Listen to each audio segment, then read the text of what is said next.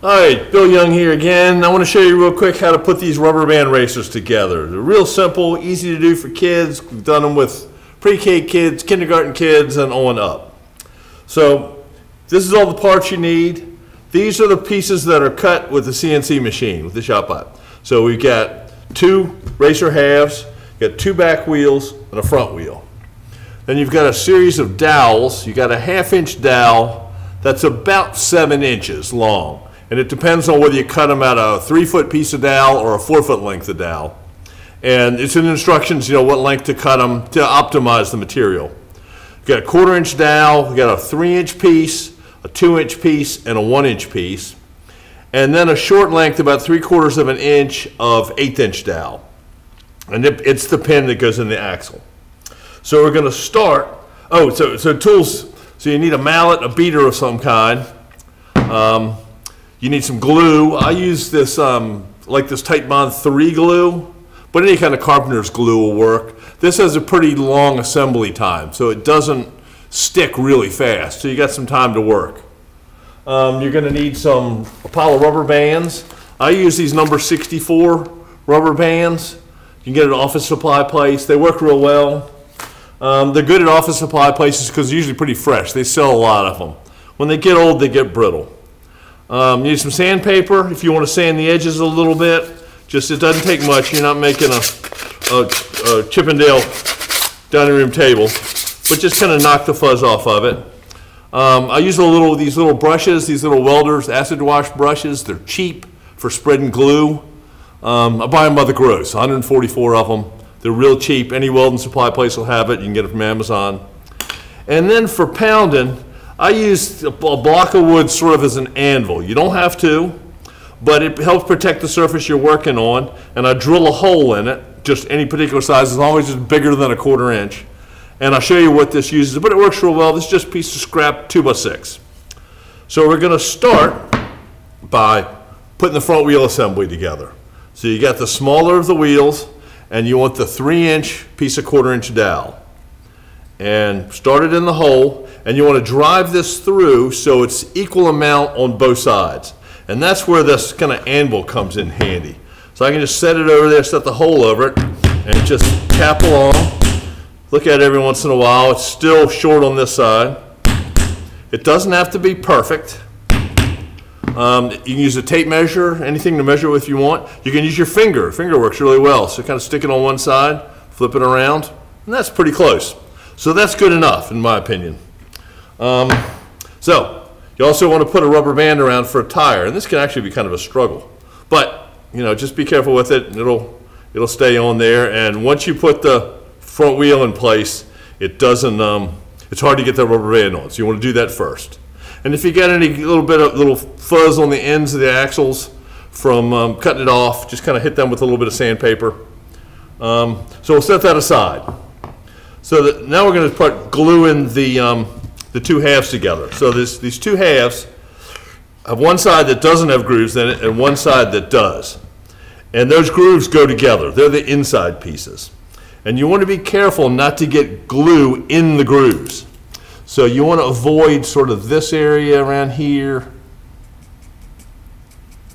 and also back here. Just don't, don't, you don't, if you get glue down in there, then the wheels won't turn well. So just try to avoid that kind of stuff. Um, like I said, I use, I use this Titebond glue and put just a little dot on these two ends. Be careful with that. And then sort of a squirt down here, a squirt down here. You can build them without the glue if you want, especially if your dowels are tight. But you, um, so I just take it and smear it around with the paint with the with the brush. These brushes are disposable, and it really doesn't take much. You know, the if you get just the right amount, then you won't have a bunch squeezing out and getting all over everything. But all these glues are water soluble, water. So if you get it on you, you can take it right back. You can wash it right back off with water. So I was real careful not to get it in the grooves. So we drop the front wheel in. It spins nice and freely. Flip the other piece over right on top of it. And then we'll use our anvil and some dowels to assemble it. So the first part, we want the longest dowel the, the um, two inch dowel. And it goes in the front by the front wheel. and just kind of line things up, give it a tap, and you want to tap it until it's flush on the other side.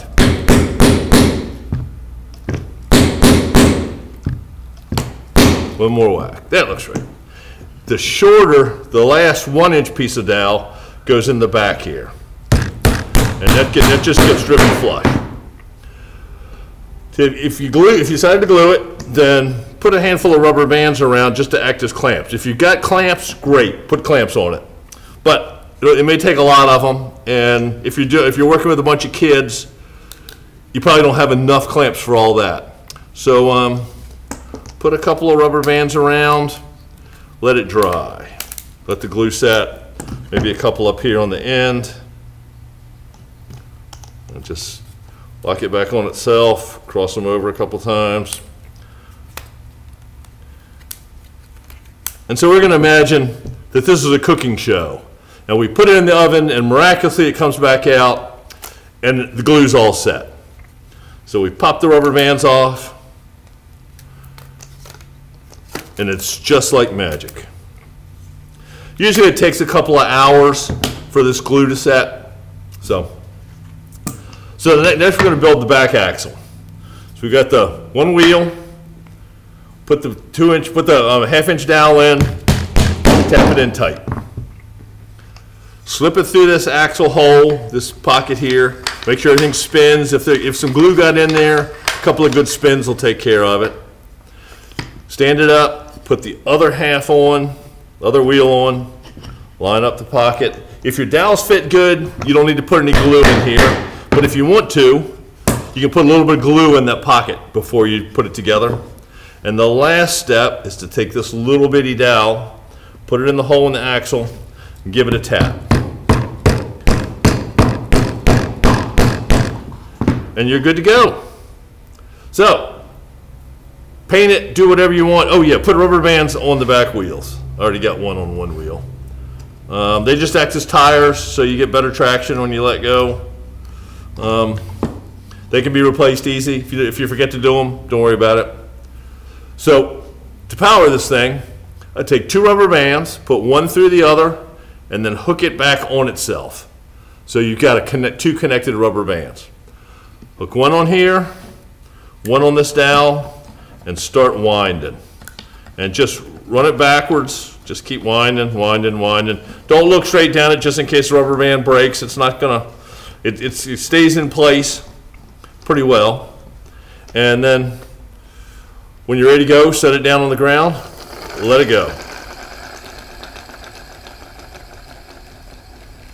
If you really want to have some extra power, take two more rubber bands, link them together, exactly like the first one, hook them on, and you get two engines now.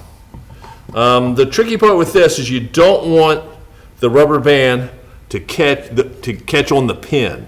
So as you're winding, it's going to want to catch. See how it's caught on that pin there? You got to kind of spread them apart a little bit, and it's a little bit tricky, but not. You know, you just be be cautious as you're doing it. If not, it'll catch, and then when it unwinds, it'll go backwards halfway around. See if I did this right. There you go. So you just get a little more power that way, but that's all it is. Now take it, sand it, clean up the edges a little bit, paint it, stick some vinyl stickers on it, do whatever you want. It's all ready to go.